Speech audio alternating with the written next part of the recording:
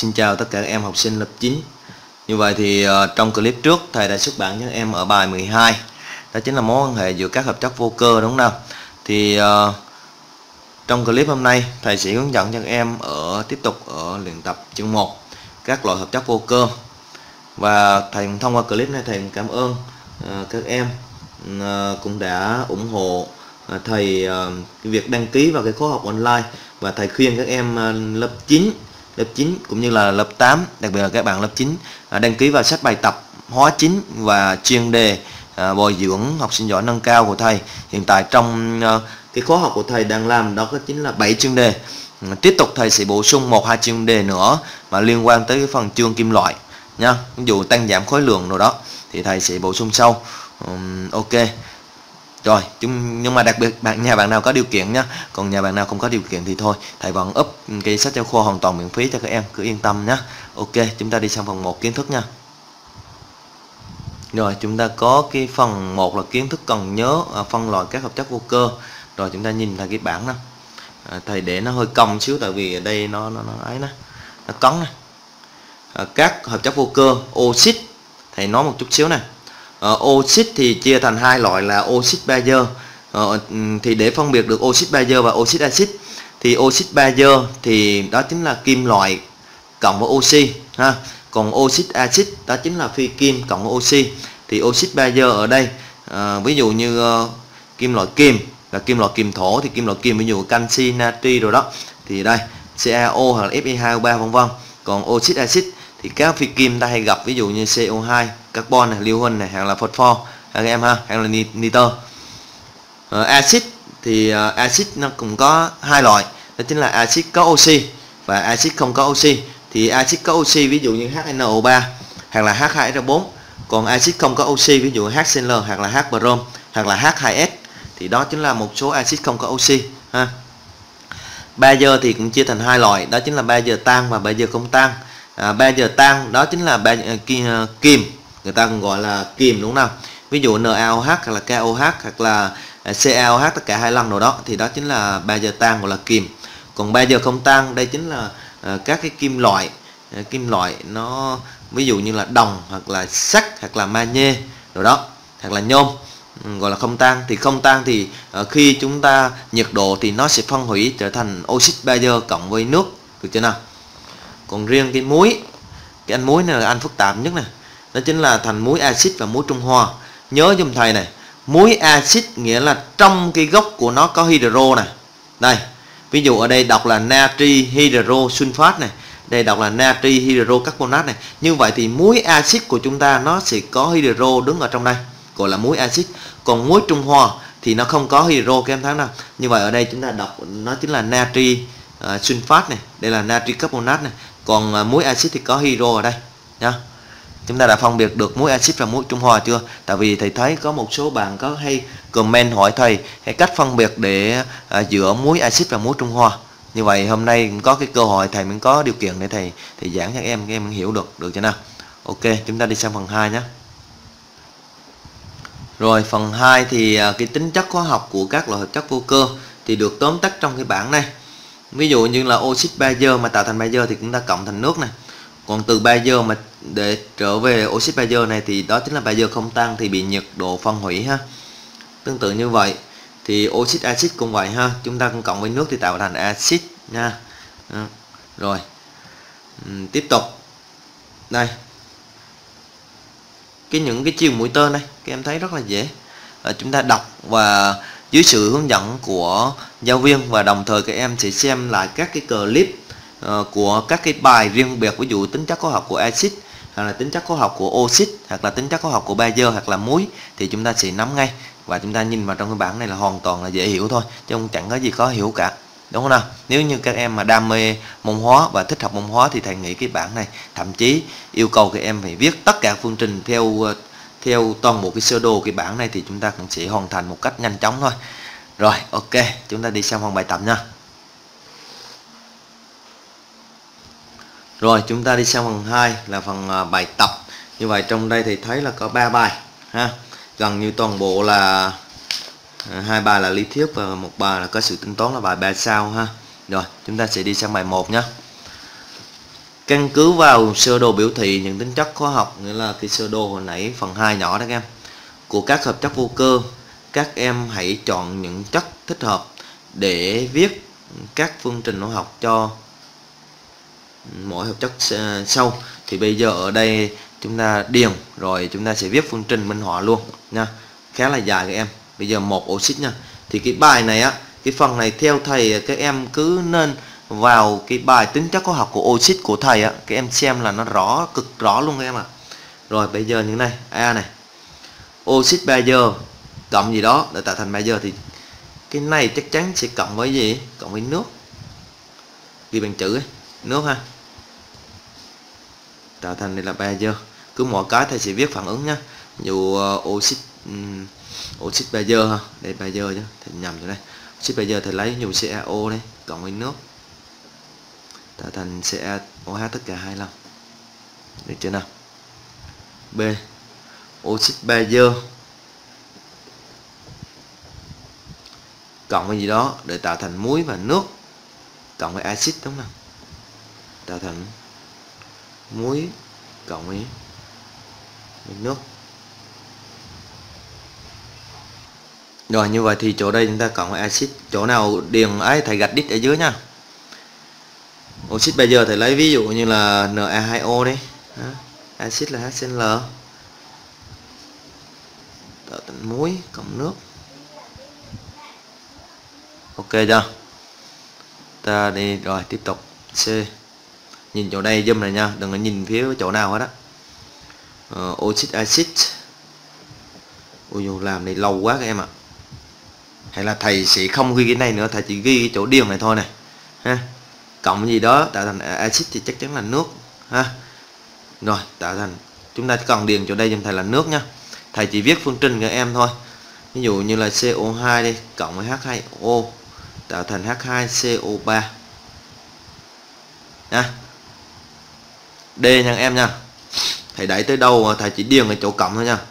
Oxit axit cộng gì đây để tạo thành muối và nước thì chúng ta điền thành là bazơ nhá ta điền chỗ đây nhá câu D nha thầy gạch đít chỗ đây thôi nhìn chỗ đây này.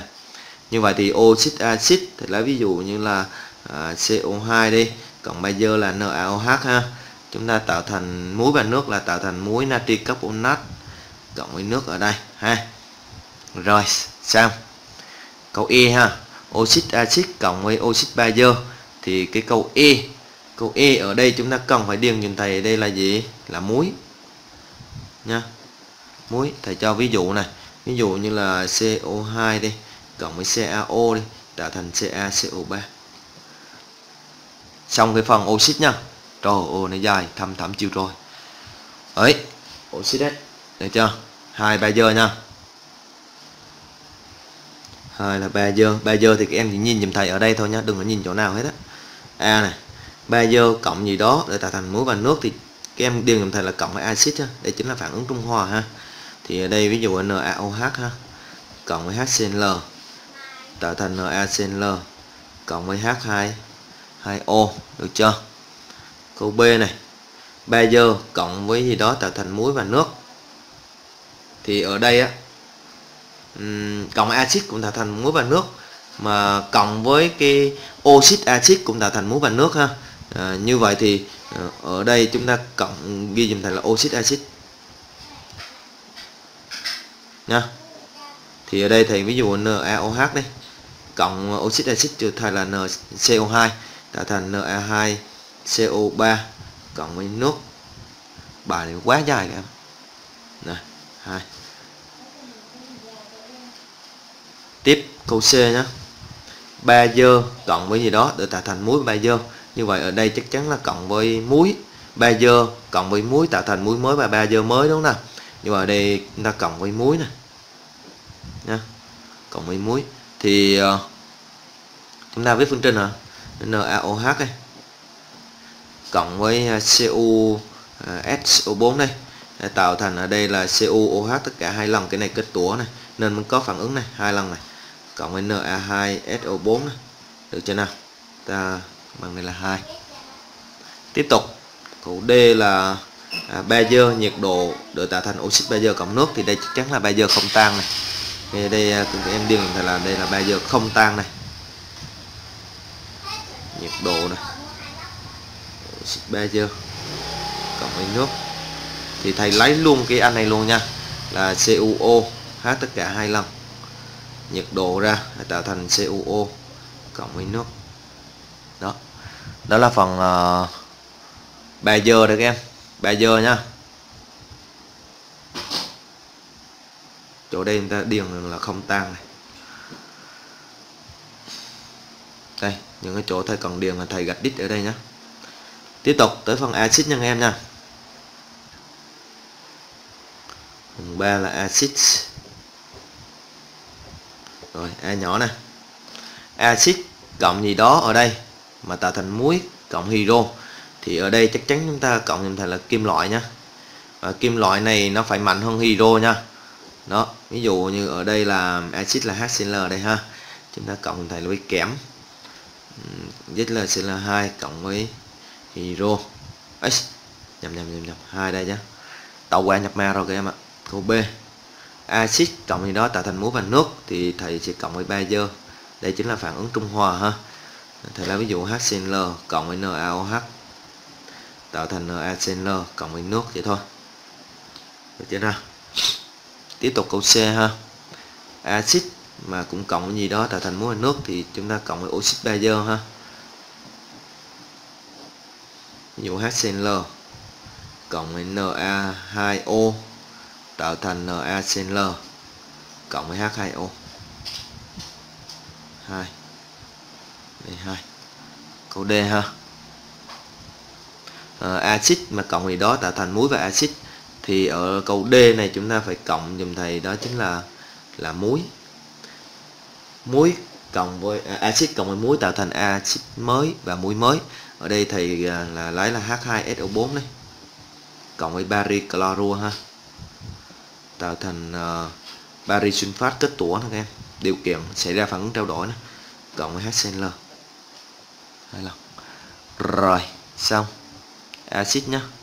Đó. những chỗ mà thầy gạch đít thì chúng ta điền vào nha. Tiếp tục chúng ta đi sang uh, cuối cùng là muối nhé rồi chúng ta đi sang cái cuối cùng là muối nha